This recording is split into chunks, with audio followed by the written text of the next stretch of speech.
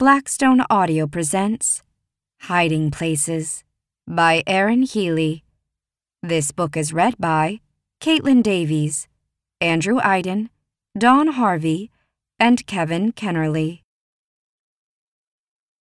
For the Gleichmans, who made legendary hospitality a family tradition. God sets the lonely in families. Psalm 68 6. New International Version. Saturday. Chapter 1 The Twix bar was for her grandfather. Kate sneaked it into his workshop so she could tuck it into his toolbox where he kept forbidden sweets from her grandmother's watchful eye. Grandy had diabetes, and Gran feared it. But Grandy said there was nothing to fear about occasional indulgences, and Kate believed him. Why else would two little candy bars make him so happy? Besides, if she stopped smuggling Twix into his toolbox, he might stop leaving her thank you gifts. Old junk that was far more interesting than anything she ever got for birthdays or Christmases. Last month, when Kate turned 11, her mother gave her a red velvet dress weighed down with sparkling beads. Kate hoped she might outgrow it before she had any chance to wear it.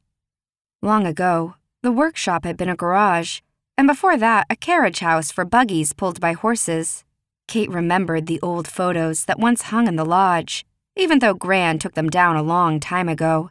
Today, wood dust coated the floor, and the air still smelled of stain, though Grandy had sanded and refinished the outdoor furniture way back in the spring. His domain was cozy and brightened by a line of windows and a view of pine trees. Kate entered from the outside, where she was less likely to be spotted, and found his toolbox sitting atop a massive masonite work table, almost as tall as she was, and as wide as the queen size beds in the lodge's guest rooms. Here, Grandy repaired broken chairs and rewired old lamps and restrung the frayed cords of mini blinds and curtain trolleys. Usually he stood. The tall stool pushed under the tabletop was for her whenever she asked if she could watch. When Kate lifted the toolbox lid to put the Twix bar inside, a bright flash made her flinch and drop the candy. After blinking the stars from her eyes, she carefully raised the top again.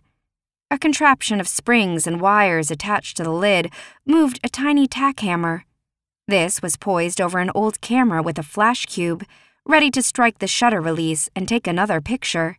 A sticky note bearing Grandy's neat block printing told her the rest of the story. Can you believe this old beast still works?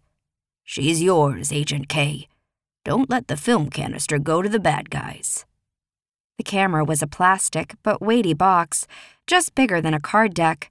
Kate put her eye to the viewfinder and framed a picture of Grandy's powerful radial arm saw. But when she pushed the shutter button, nothing happened. She turned the camera over in her hands. Her thumb brushed a small lever and moved it slightly. Would it break if she pushed on it? When Grandy's voice reached her from outside the shop, she was still trying to decide. Though Kate was welcome here, being caught in the act of exchanging gifts ruined the fun. She ducked under the big table, into the shadows of boxes and boards stacked against its legs, just as he opened the door. Kate flinched when the door hit the stopper and bounced off. What do you mean it's gone? Grandy demanded. He slammed his desk chair into the nook under his computer, then turned to a small window that overlooked the side yard, his cell phone to one ear, his fist on one hip. How did you lose it? At the answer, Grandy kicked over a small tower of five gallon buckets. They separated and rattled around the concrete floor. With one arm, he swept all of the paperwork off his desk. A paperweight hit the wall. Kate clutched the camera and made herself as small as one of the buckets that wobble rolled past the workbench. She knew better than to hold her breath, but found it hard to breathe quietly. She'd never seen her grandfather do much more than slap a table when he was upset. You had no right, Gorman. It wasn't yours to risk. Mr. Gorman was Grandy's best friend, owner of the Quick Cash pawn shop. Gran thought a pawn shop was a terrible place for a child to spend her time, so Grandy took Kate there at every opportunity, the easiest secret she ever had to keep. That and the one about Grandy's motorcycle, which she kept at Mr. Gorman's house. Grandy took her for rides in the summertime. Mr. Gorman, hairy as a yeti and nice as a teddy bear, always told her a knock knock joke and then gave her a slug for the toy dispenser at the front of the store.